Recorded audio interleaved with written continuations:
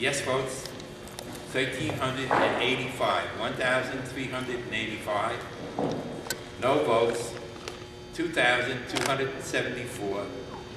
The bond issue is defeated.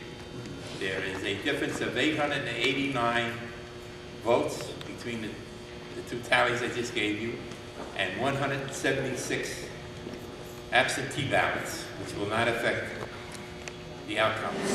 Voters have decided that they do not want this. I am disappointed. I thought that people in this district cared more for their children, cared more for our future than what they've demonstrated today, but they have decided no, and we have to accept that and abide by it. There isn't anything that we really can do about it. You know, we go back to the drawing board on the 23rd. The board has to decide uh, what they want to do in terms of the crumbling buildings and not having uh, good facilities for our children. Uh, It's a sad day for Riverhead, and there's no question that it's a sad day. I don't believe that our children deserve second-class facilities. But the public did speak, and we have to abide by that, and uh, the board will figure out what the next uh, stop is. You know, you get thrown lemons in life all the time, try to make lemonade out of it. That's the best I can say. Thank you very much.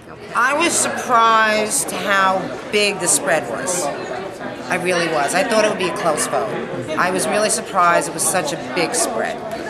I think a lot of it had to do with the economy, obviously. Um, but I also think that um, there were a lot of special interests out there voting against something in the plan. So, you know, you add all that stuff up, and, you know, we worked hard. You know, we went out there, we educated the public. Maybe we educated them too much. That could have been a problem too.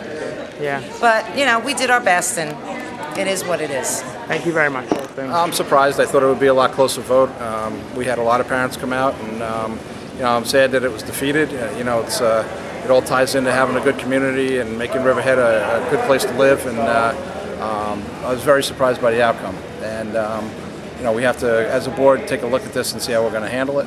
But um, it was all about the kids and trying to increase the value of their education and giving them the spaces and opportunities that other people before them that have, ha- have had.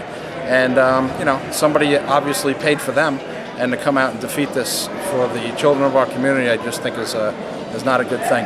It comes down to a cup of coffee a day. It's two hundred dollars a year. Give up the coach pocketbook and a new pair of shoes, and you know, do something right for the for the kids because some, somebody's paid for your education. Why do you think it failed? Why do I think it failed? I think it's a sign of the times. Uh, economic times are, um, you know, very tough. I think there's probably more people in trouble uh, fiscally than we, we think. Um, and I think, you know, that's something that will, will be, um, uh, start to show up. I think the worst is not behind us yet as far as the economy goes. I just have a funny feeling. Uh, in talking with people around the community as I circulate, um, I'm starting to find that more and more people are in trouble financially. And this is indicative of, of uh, you know, what I've been feeling on the feedback from the community as I circulate with people and talk. Um, I'm disappointed. I feel like it was very important for the board to allow the community to make a decision, to put something up for the community, and then it would be obviously up to them whether or not they felt they could afford it or not. I realize that economically these are very difficult times and that a lot of people felt too strapped financially to afford the extra money that this would have but I did feel it was reasonable in as much as it really wouldn't have been much um, cumulatively each year. It would have been approximately 200 and I believe 30 um, dollars a year for a home of um, an approximate value of 400,000. So um, I think it was about as reasonable as we could make it and still address the needs of the district. So I'm disappointed, but I understand.